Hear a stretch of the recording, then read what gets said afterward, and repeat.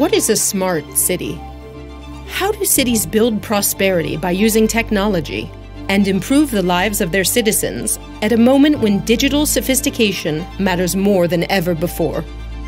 The Smart City Index is the only global index of its kind where smartness is no longer measured purely by advancements in technologies, but by the perception of the citizens themselves.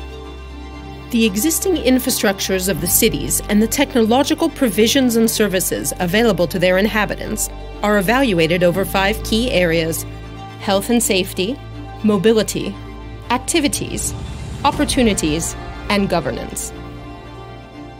On September 17th, the 2020 Smart City Index will reveal the ranking position of all 109 cities measured.